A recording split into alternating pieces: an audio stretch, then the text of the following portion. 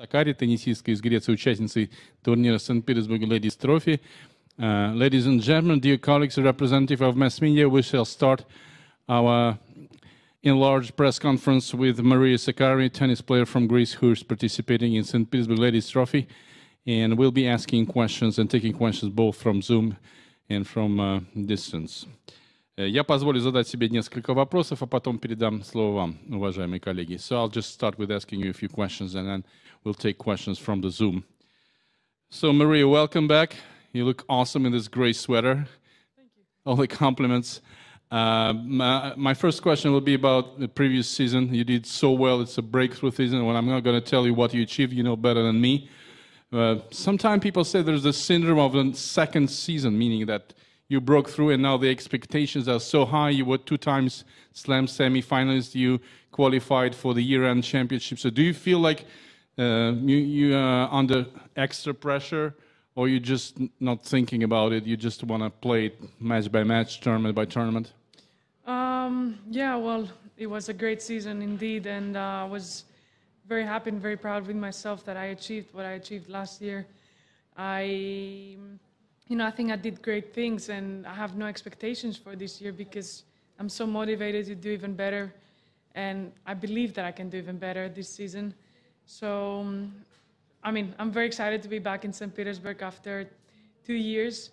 It's one of my favorite tournaments, and I just, you know, I cannot wait to start um, tomorrow. Э, вопрос касался э, блестящего сезона, который Мария провела в прошлом году. Дважды была полуфиналисткой шлемов. Впервые стала первой гречан, э, представителем Греции, которая квалифицируется на итоговый чемпионат WTA. Это было в Гвадалахаре. Существует мнение, что есть некий синдром второго года, то есть повышенное ожидание. Ощущает ли Мария этот синдром? Или она старается об этом не думать и играть матч за матчем, турнир за турниром? Ну, во-первых, я могу сказать, говорит Мария, что я очень горда и рада теми успехами, которые я добилась, и тех достижений, которые мне удалось добиться в прошлом году. Это был прекрасный сезон, но никаких особых и завышенных ожиданий э, в этой связи у меня нет. Я уверен, что я могу также хорошо выступить в этом сезоне, может быть, даже еще и лучше выступить в этом сезоне. Э, поэтому я не чувствую этого синдрома второго сезона. Я воодушевлена тем, что я вновь вернулась после нескольких лет в Санкт-Петербург э, на этот турнир. Это один из моих любимых турниров, и я жду не дождусь того момента, когда смогу сыграть свой первый матч на этих э, соревнованиях. Maria, um, let me just ask about the consistency. Uh, uh, if I'm not mistaken, you're still with Tom Hill, right? Yeah, so still your coach. Correct.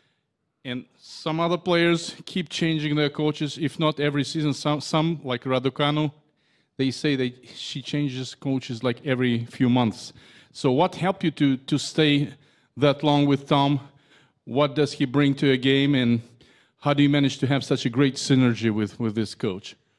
Well, um, I think it's not my mentality, you know, changing coaches. When I, you know, I like I like a lot Tom, and he he brings great value um, in the team and uh, on my game, and we get along really well, which is the most important thing. And I believe that consistency, even on that part of uh, you know my career, it's something very important, which I really believe and you know uh, just admire people that actually stick with their team for a long time, especially when things go really well. And you know sometimes things don't go well, but they keep on you know, working with them. And it's just that, you know, we get along really well and we have a great, great chemistry.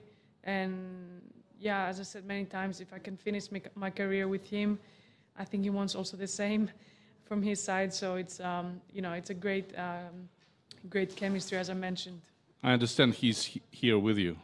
He's here with me, yes. Э, вопрос касался э, стабильности, которую поддерживает Мария Сакари в отношениях со своим британским тренером Томом Хиллом.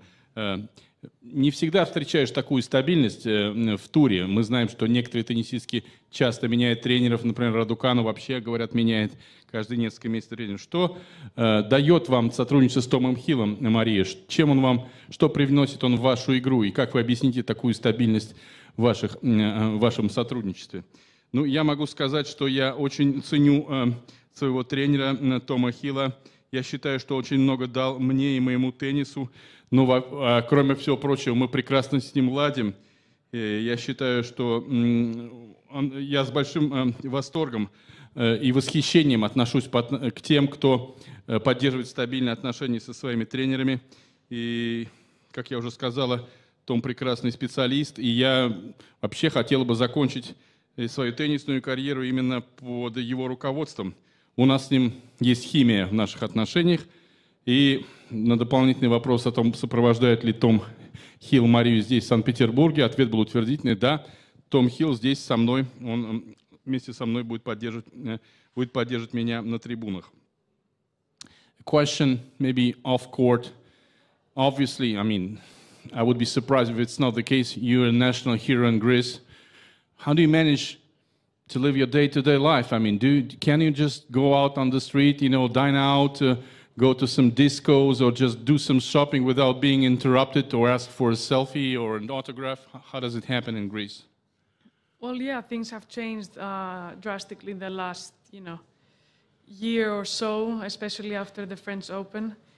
But um, you know, it's always like wherever I go, I get people, you know, coming up to me, but they're always very nice, which is a very nice feeling, you know, because um, they always have something nice to say about myself and about my career and about what I have achieved for Greece.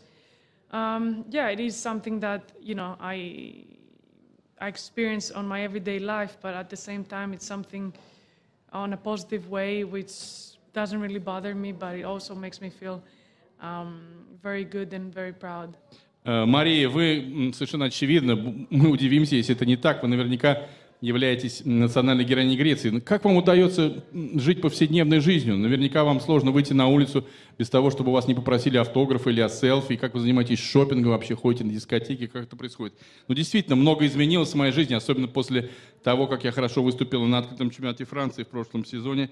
Действительно, куда бы я ни выходила, ко мне подходят люди.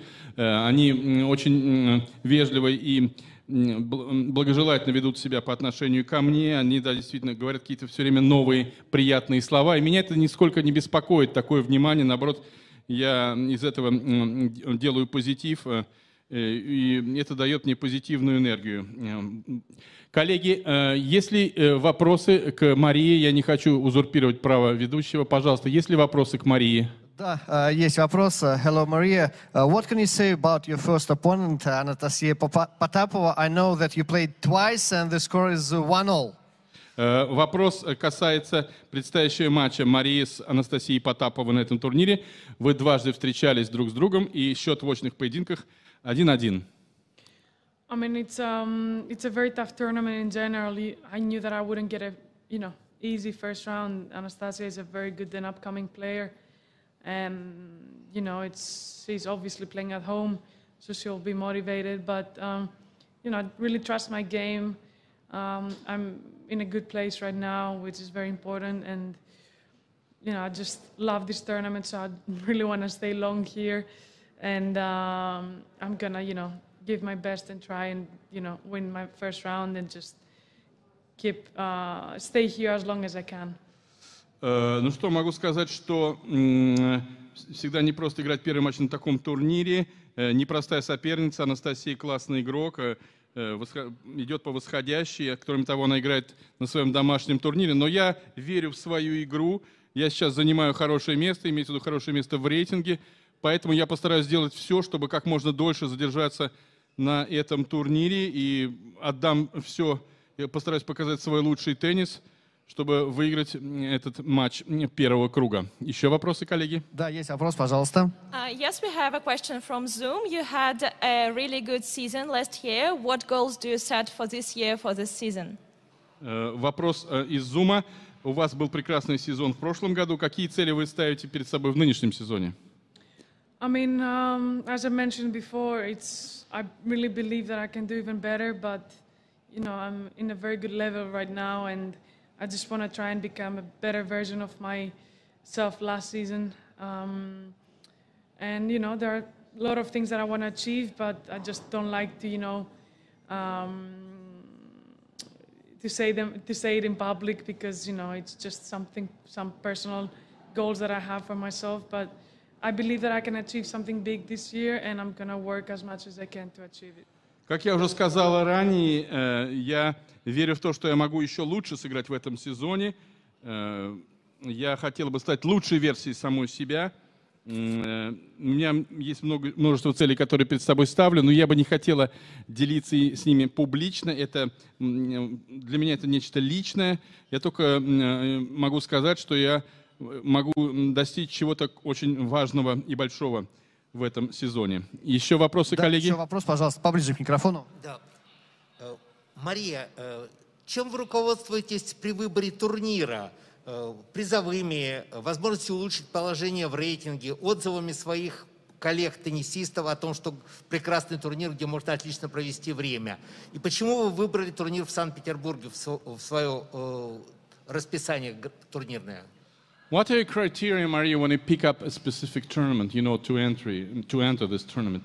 The prize money, the feedback from the players, uh, the need to improve your rankings, and why did you choose St. Petersburg Ladies Trophy this year specifically? I mean, it's um, you know, it's a 500 event. Obviously, the points are uh, quite big, um, and you know, it's not far from uh, Greece, which is very comfortable for that part of the season when we have long trips, you know, in Australia, then in the US. Um, but the main reason is because the organization is great. There is a reason why um, the tournament every year is voted the best 500 uh, of the WTA. I love every like person that works here, and they they do the best for the players, and it's actually an incredible tournament that I always want to come back. Э, э, Могу сказать, что э, этот турнир принадлежит категории WT 500, поэтому здесь можно заработать хорошие очки. Кроме того, эм, город расположен недалеко от моей родной Греции, это тоже удобно, особенно после того, как мы совершали такие длинные путешествия, например, когда ты едешь в Австралию, на Australian Open или на US Open. Но это не самая главная причина, почему я выбрал этот турнир. Главная причина – это его великолепная организация. Э, э, Не случайно этот турнир э, из года в год, вот, уточняю, три раза уже был, уже за него проголосовали игроки, и он был признан лучшим турниром своей категории в WTA. Я люблю каждого из сотрудников персонала, который работает на этом турнире. Они проделывают прекрасную работу, окружают нас заботой, и мне очень нравится здесь выступать. Еще вопросы? Все, спасибо. I have a final question. You mentioned before when in Moscow, and I guess here too, about uh, how close our people are, how close our cultures are, and how close our, well, we, we belong, Greek people and Russian people belong to the same Orthodox religion. Did, did you have a chance at least to, to take a glance at the sites of St. Petersburg or at the cathedral, which is just a stone throw from a hotel, and maybe from the car window you saw something else? I mean, I've been to the Hermitage Muse- Museum two years ago, before COVID. Uh, the reason why I don't visit now any of the, you know, museums and the cathedral is only because of COVID, because of the rules being very strict, you know, uh, if you test positive. So I'm just being very careful this season. And um, but as I said, because I really love St. Petersburg, I'm sure I'm gonna come back uh, when COVID is gone, hopefully, and I'm gonna have the chance, you know, to visit. Um, uh, yeah, a lot more museums and um, you know a lot of things here in St. Petersburg because you know it's one of the most beautiful cities um, in the world, and I just want to see, you know, uh, what this city hides. Э, Вопрос э, о том, м, что говорила ранее Мария, она говорила о близости двух стран, Греции и России, близости культур. Э, У нас одна и та же православная религия. Э, Понятно, что есть ограничения. Удалось ли вам э, посмотреть на какие-то достопримечательности, может быть, просто из окна автомобиля? Кроме того, э, Исакий, прямо рядом с вашим отелем, где вы живете. Что скажете? Ну, я уже говорил, что два года назад, когда здесь была, я посетила Эрмитаж, мне очень понравилось.